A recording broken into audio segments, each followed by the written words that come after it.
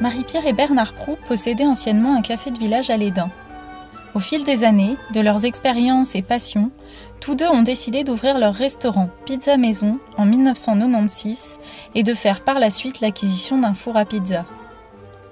La qualité de l'accueil et la qualité des produits proposés sont pour eux des valeurs primordiales.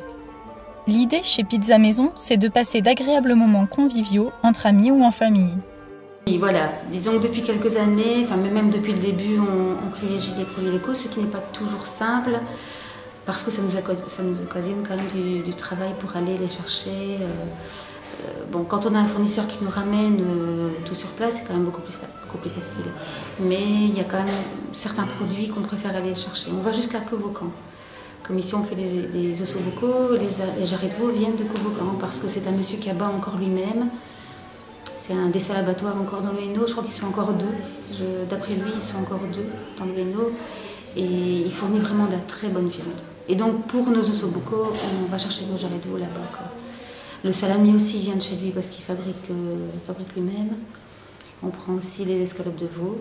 Par contre, pour la merguez, euh, les andouilles, euh, la, saucisse de campagne, on la prend à notre boucher ici du coin, en qui on a beaucoup confiance et qui fait de la très très bonne viande. Notre hachis vient de chez lui aussi.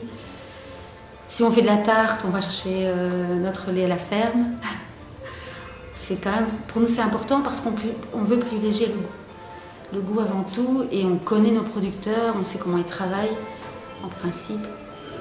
Et donc on a plus confiance à ces gens-là que les produits industriels.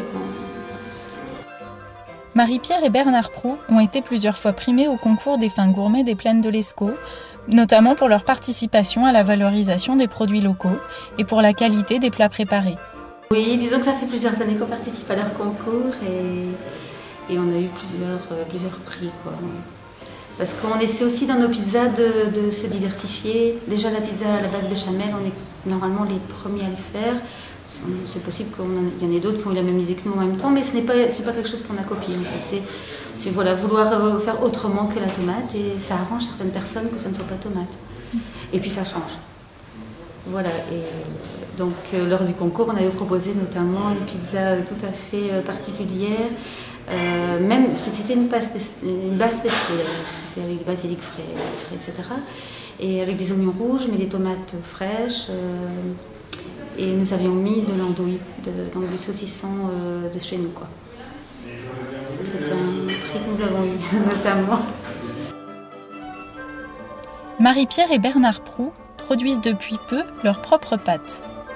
Ils ont récemment fait l'acquisition d'une machine leur permettant de réaliser des formes tout aussi diverses que variées.